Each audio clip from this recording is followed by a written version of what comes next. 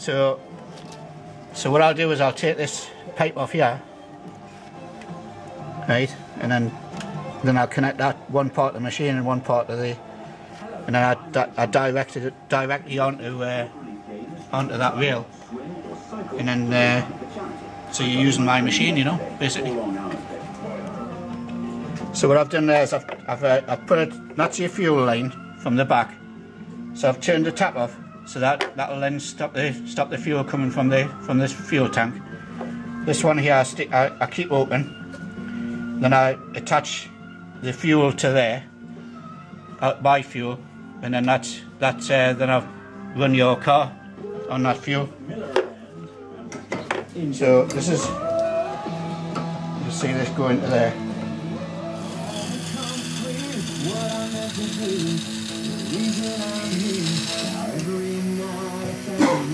So this is a this is a fuel for the uh, for the system. The red can is for the uh, for the combustion side, which is the uh, which cleans the injectors, cleans the pistons, cleans the valves.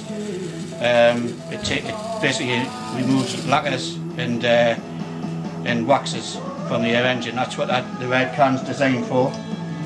And the, the black can is designed for to do those put those parts, but it also um, does the exhaust system as well and the your lambda sensors and everything like that. So it basically just takes the excess uh, carbon and dirt off the.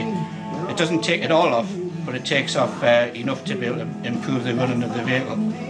Um, also, the machine as well.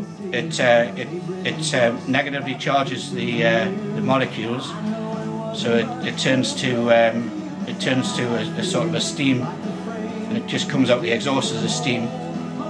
It, it also puts 11,000 volts through the through the fuel, and it also uh, nanoparticle changes the actual size of the particles from a, a, a large to a small, uh, so it, it, takes up a lot more surface area.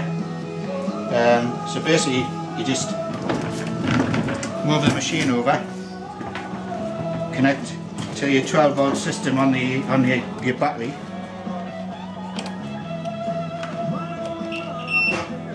So this is telling you that you've connected the battery correctly, and uh, you're uh, you're gonna. This is for the red can. This one here is for the black can. So it uses a red can first. Um, so basically, what you do there is you just connect the, the fuel supply and the and the compressed air to, to here because it because you've disconnected the fuel filter, the, the fuel pump from the system. You, you're putting the, the pressure that the fuel pump would normally put in. So you're putting the fuel into the system, into the rail at the same pressure as the fuel um, pump would have done. So, so you do that by connecting the airline to it. So what you do is you turn turn the pressure up. This is the pressure that's in this pipe, and this is the pressure in the machine. So you turn the, the pressure up to about about 40 psi on this car. That's all you need. Okay. And normally you would you would disconnect the uh, the fuel filler flap, but because on Peugeots you're not allowed to take the key out of the filler, you have to leave it in. So you just have to be sort of conscious of that. And that's a that's the system connected up. So what I do now is start the car.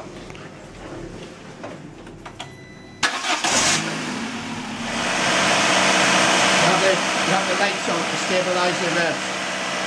That's basically all you do. And you just watch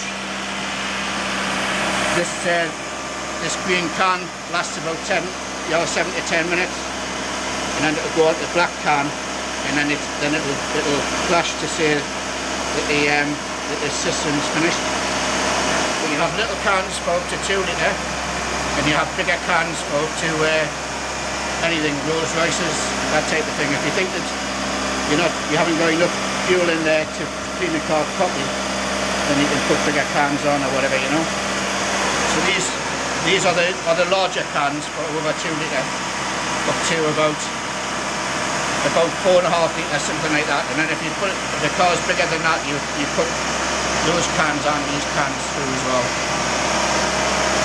So, but it's just exactly the same thing as you can see by the can. what it's telling you.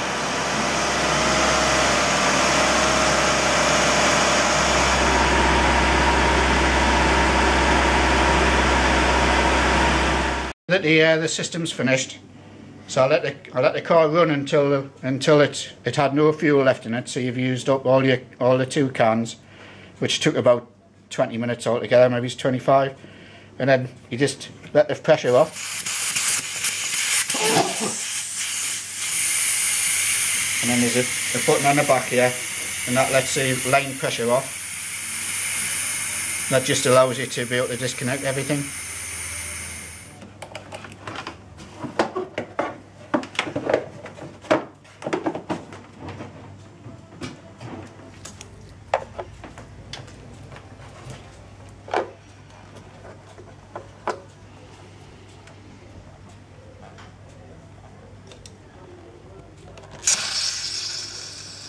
That's just a bit of pressure in the line because you've, disconnected, you've, you've had it disconnected.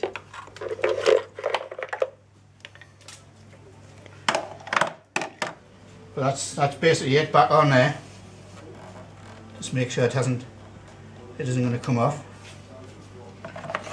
And that's basically the uh, that's a TerraClean that's a TerraClean service.